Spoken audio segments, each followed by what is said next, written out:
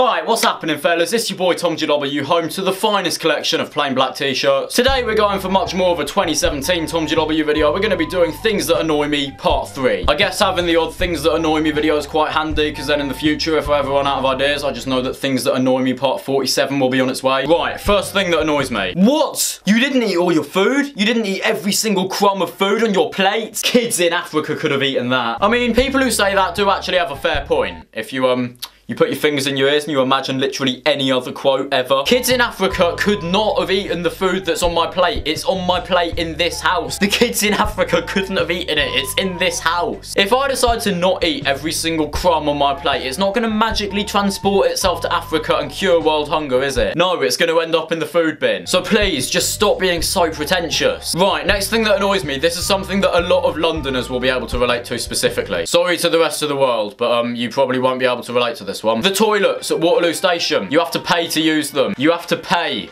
to urinate. You have to spend money on one of the seven life processes. Yes, I listen in school. I mean, it's not much money, but you still have to get your coins out, then put it through the vending thing, then the gates open like it does when you get on the train, except on the other side of the gates there's no train, there's just a bunch of cubicles and urinals. That is something that all humans should be allowed to do for free. I'm sorry for getting angry over petty things, but Jesus Christ, isn't it annoying when you're about to get on the train home from London, but you need the toilet, but the toilets at Waterloo cost money. I really do hope that there are at least a couple of people watching this video that have actually been to Waterloo Station. Otherwise, I've literally just wasted time ranting about something that no one knows what I'm talking about. Also to do with trains, here's another thing that annoys me. As someone who takes the train twice a day, five days a week to get to school, this is something that I have no choice but to encounter a lot. So a lot of the time, the train is very quiet. Empty seats everywhere, which is fine, that's good. However, on an average overground train, there are some rows of two seats, then there are some like kind of bays of four seats that like face each other. Now, if I got on the train with three people I know, you might think that us sitting in one of those bays of four where all the seats face each other would be perfect. And yes,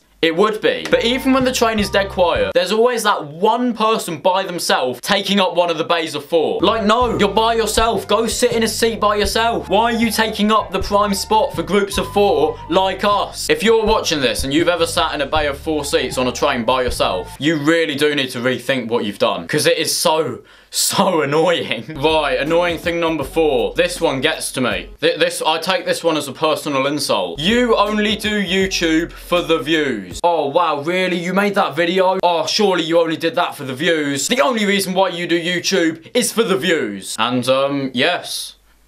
That's the entire point of YouTube. Of course I do YouTube for the views. Of course I do YouTube so that other people can watch my videos. I'm not exactly gonna sit there uploading a video going, ho ho, I really hope no one sees this. Believe it or not, I'm uploading it publicly to YouTube. So obviously, I'm uploading it for the views. Now I know when a lot of people say, oh, you only do YouTube for the views, what they're trying to say is you only do it for the money. And for anyone who's doing it full time, yes, they are doing it for the money.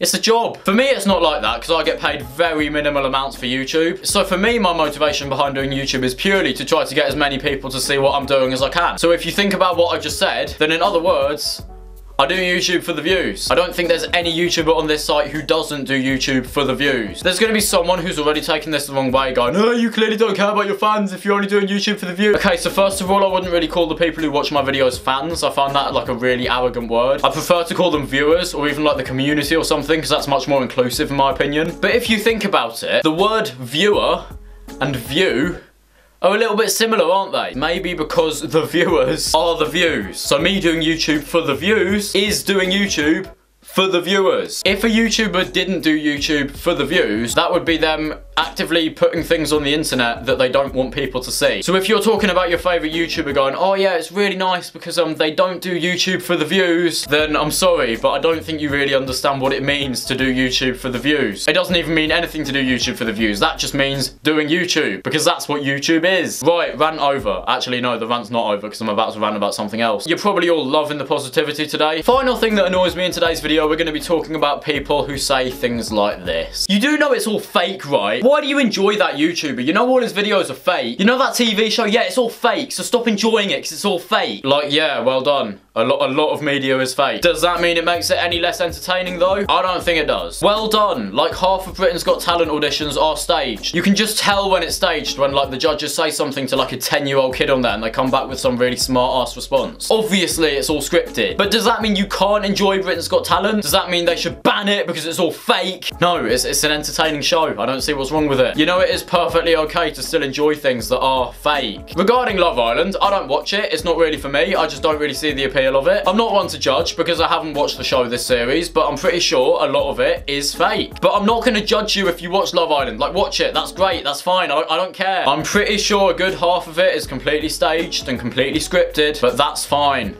That's what TV is. Like, here's another example. Do you remember when the Sidemen diss track war was going on? It was an entertaining couple of weeks, but it was also very clear that the Sidemen didn't actually hate each other. It was very entertaining, but it was also very obviously fake. Well, unfortunately, that didn't stop all the angry haters typing away furiously because they thought that they were the only ones that noticed that the beef was fake. So you've got situations like that where people saying that things are fake is just blatantly stating the obvious. But then you've also got people who are just completely grasping at straws and coming up with conspiracy theories over things that really aren't worth it. Like, I know someone who is convinced that the KSI v Joe Weller fight was staged. There is no way of convincing him that that was a real boxing match that actually took place. He thinks it was just a complete performance. The whole thing was 100% staged. Like, just bore off. I highly doubt it was staged. Those guys devoted their lives to boxing for like a couple of months. There's no way it would all be staged. That is such an anticlimax for what was a massive step for this platform. But even if it was, even if it actually was staged, it was an entertaining night. Like, if you think you're clever for coming up with conspiracy theories about things that were once really good and you're completely taking the fun out of it, then congratulations.